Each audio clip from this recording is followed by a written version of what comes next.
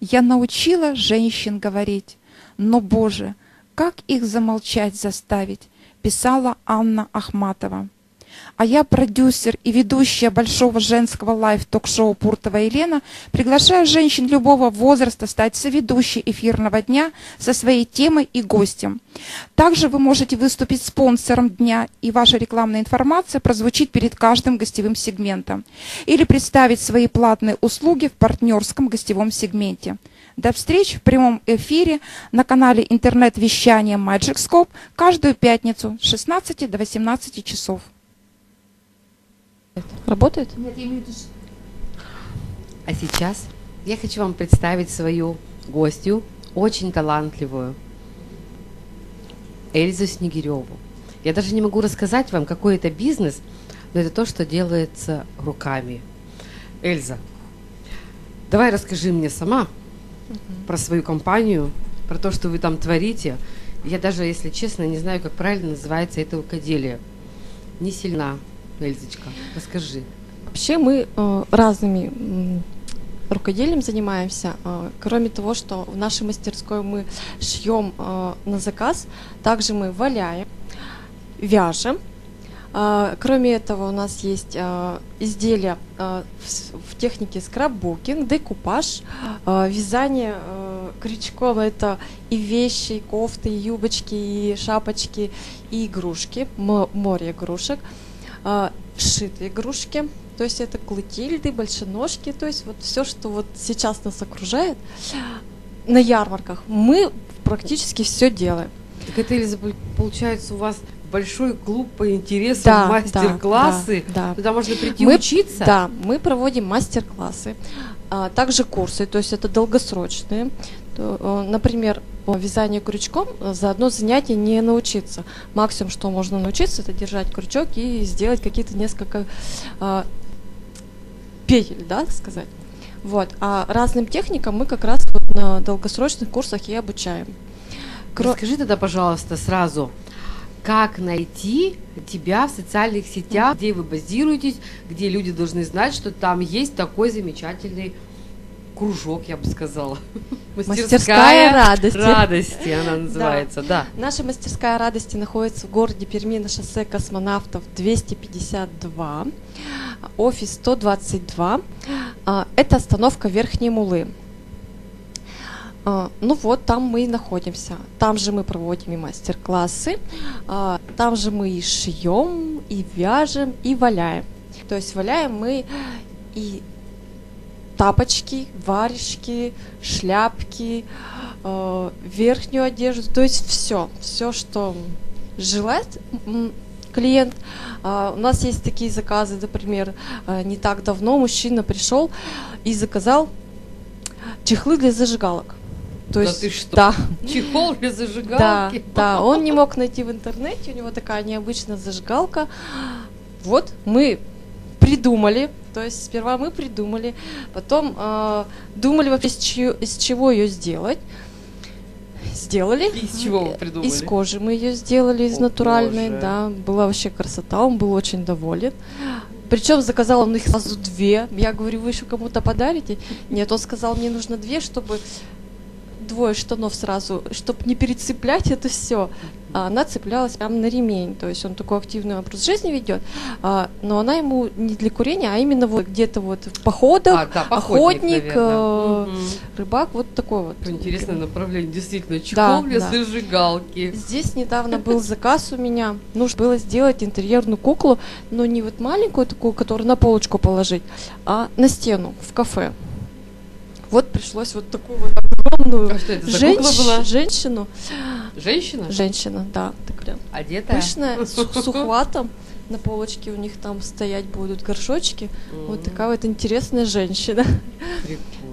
Ой, у нас вопрос есть, Леночка. Задавай. Можно дорваться Да. в ваш разговор.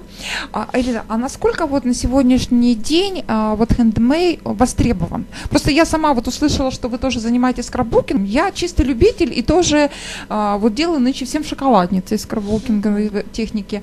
Насколько это вот востребовано? Насколько удается, а, ну скажем так, заработать? Вот меня этот вопрос интересует. Но вот такие техники, я не скажу, что очень много заработаешь, это как дополнительный доход. А, чаще всего пользуются сейчас популярностью обложки для паспортов.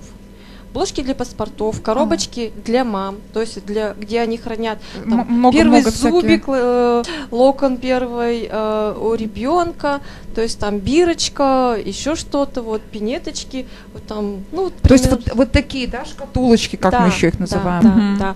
А, часто заказывают, допустим, для подарка. Вот идут на свадьбу, сейчас, как правило, принято дарить э, деньги на свадьбу, а, но их вот, вот не подаришь. Да, конвертики Необычно, такие да? интересные, да? Приходится вот придумывать какие-нибудь, ну не конверты, а в коробочке. То А, даже там как, коробка, да, такая? там Мгм, она интересно. ткается сразу в четыре стороны. А вы-то как вот оказались в такой мастерской? То есть это вот э, как-то зов души? Да. Причем зов души, э, я бы сказала, с рождения. Потому что э, у нас вообще вся семья такая творческая, причем эм, работали всю жизнь мама с папой как раз вот э, не в творческих профессиях, а сама я, допустим, закончила наш педуниверситет, э, факультет биологии и химии, поработала в школе, поняла, что учителей у нас не очень любит государство, поэтому приходилось Пришлось дополнительно- податься в творческое, да? да, приходилось дополнительно как-то вот э, Выживать. выживать, да. Вот учителям как раз вот их приходилось выживать. А вот когда? То есть вы немножко совмещали, совмещали это все дело, а да. потом ушли. И, И, пос- и причем ушла я совсем буквально недавно. Я только-только открыла свое ателье. Нам вот буквально будет, можно сказать, три месяца. Но Ух уже ты. сейчас э, есть постоянные клиенты. У нас, допустим, есть клиентка, у нее не совсем стандартная фигура, сложная. Ей очень тяжело подобрать вещи э, в магазине. А, Когда мы только открылись, и все вещи, которые у нее есть дома, мне кажется, она вообще весь гардероб нам принесла, мы их его переделали а, именно под ее фигуру. А, После этого вот она заказала у нас кучу вещей уже, два жакета, две блузки, юбки, костюм. то есть вы еще и шьете, да? потом? Шьем, да. То есть у нас вот сейчас в основном пошив. Вот, Ну, э, то есть, смотрите, основа. узконаправленный все равно, ну, как бы не, не Нет, спасает. То не есть нужно спасает, можно это больше, невыгодно, да? да, Мгм. да. То есть поэтому у нас очень-очень большой спектр услуг. Мгм, мгм. То есть, вот, допустим, а, одно время вообще вот м, валяние я начала заниматься не так давно. А, У меня у мамы случилась э, печальная история, она стала инвалидом, а, всю жизнь проработала ветеринаром и зоотехником а, в колхозе и в лабораториях, вот. И когда ее парализовало частично, ей пришлось выйти на биржу, потому что она не была пенсионером. И там она обучилась вот курсам шитья, курсу э, валяния, гончарное производство, э, пчеловод. Даже Боже, производство. гончарное. Да, да. Супер. Ну вот у нас в Куйде есть такая вот школа э, искусств, где вот обучают не только детей. А вы из Куиды? Да, да, Как интересно. Я там прожила до 2000 года, потом приехала сюда обучаться, учиться в университете, ну и осталась здесь, потому что там работы не было на тот момент. Ну, я рада, что я осталась здесь. Конечно, я очень скучаю по своей деревне. А именно по, по- почему, когда говорят, я скучаю по деревне, я немножко не понимаю. А, почему конкретно вы скучаете? Леночка не понимает, по Нет, я не деревне понимаю. не А что скучает. там в деревне? Ну, ну сколько вот в Куиде, сколько домов? Ну, очень большое село. Да? То есть там есть поселок Ну, Куйда, есть хорошо, деревня большое Куйда. село. И что там? Там Люди. ничего. Вот. Ни производства, ничего. То есть На лыжах покататься. На лыжах покататься, В баню в сходить. баню сходить. Вот. А, Поэтому скучать, я согласна, можно, да. Вот, поэтому из города я переехала вблизь, э, вблизи теперь живу в Пермском районе, недалеко от Култаева, у меня свой теперь огород, своя баня. Переехали всего три года Как назад. хорошо. Да, так что приезжайте Обязательно. Я обожаю. Все, девчонки напросились на баню. Да. Да. Куда мы только сегодня не напросились. Да. Да, гончарное производство, супер. Вот. И после того, как мама попробовала, ее это просто вот затянуло, я бы сказала. Она наваляла кучу варежек, ку- кучу тапочек и не знала, что с этим делать. Ну, просто не знала. На тот момент я была в декретном. А, Я говорю, мам, давай я на ярмарку схожу и попробую продать там. Первый раз я пришла на ярмарку, у меня был э, просто один чемодан. Чемодан был папин, который, с которым он пришел из армии. Он для него был очень дорог. Я у него просто вот со слезами его выбросила. Я его э, украсила в технике декупаж. Он был э, такой прям красивый-красивый стал. Вот. Папа, когда это увидел, сказал, ну ладно, не зря отдал. Ты его продал? Нет, он для меня это дорого. Он сказал, что не дай бог ты его продашь. Это вот память для него очень-очень э, как бы А на ярмарку для чего ходят? Чтобы показать? Показать, А. да, да. То есть для Не, ну варежки Он был- продали. он был не просто ведь варежки на столе разложишь. Для того, чтобы привлечь клиента, надо как-то преподнести интересно. В чемодане, да. То есть я его так поставила, повешала на стеночку и там лежали. К сожалению, первый раз, когда я пришла, у меня ни одной пары варежек не продалось. Но я выиграл, там как раз был юбилейный выпуск ярмарки, и нужно было прийти в костюме. Это была новогодняя ярмарка. Прис- э, как раз наступал год овечки. Мы с мамой сваляли такую шапку в овечки. Такая у меня была овечечка. Я нарисовала себе мордочку и получила первое место э, в костюм.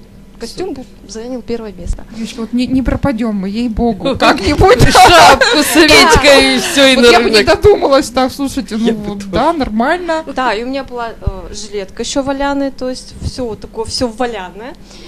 Э, первое место был подарок. Следующая ярмарка бесплатно. Вот на следующей ярмарке я оторвалась. Поняла, что варежки это узко, да, не всем это надо. И тогда мы я подключила свекровь, э, подругу. То есть мы нашили игрушек, навязали, варежки были, тапочки, шарфики. То есть уже э, товар Можно было полностью одеться. Можно было От да, тапочек да, до шапочки, да. шарфик. И вот тогда я э, уже заработала и закрыла аренду с первой ярмарки, так сказать. Вот. И поэтому я, у меня блог есть, где название «Бизнес с чемодана». Вот. Это твой блог, да? да? Да. Я его Да. читаю. Бизнес чемодан. Вот. А, после этого также ходила на ярмарки, реализовывала свой товар. Но в основном на ярмарках, вот я скажу для как раз вот для рукодельниц, для девочек, а, ну вот сейчас уже насыщен рынок этим, очень много ярмарок, Много, да, практически в каждом торговом центре у нас проводится. А, Я хожу туда для того, чтобы найти клиентов. Мгм, Ходила, вернее, теперь уже есть своя мастерская, поэтому уже в этом не нуждаюсь. Там находились клиенты уже на большие заказы, допустим, э, комплект шапка, варежки, тапочки и шарфик, то есть полностью комплект в одной композиции. Э, Это уже приносил доход. Просто постоять один день было невыгодно. То есть там мгм. закрываешь аренду, Ну, то есть все равно можно какую-то задачу решаете, это Да, ярмарка, конечно. да? То есть, То есть, вот если идете на ярмарку, нужно запастись листовочками, визиточками, вот. Но у меня просто товар, он не копеечный. Допустим, варежки у меня стоят от, от 6, от 700 рублей, да, От да, 700. грубо говоря. А, поэтому не каждый готов вот пройти мимо и потратить такую сумму. Поэтому а, Ну, я думаю, что э, здесь меня все поддержат, потому что это все-таки ручная работа, да? да, да, А, да. У нас, скажите, вот в Перми ценится ручная работа, я вот все время думаю, или люди все-таки говорят, ой, дорого, ну, когда говорим дорого, ну, идите на Есть китайский и рынок. такие люди, которые говорят э, дорого. Есть люди, которые э, ценят. да. Ценят, да? и Все-таки у меня сейчас сумму. клиенты м, есть и ценят этот ручной труд и приходят за Мгм. таким товаром. Леночка, ну вот представь такие варежки, да? Мне кажется, они должны быть вечные.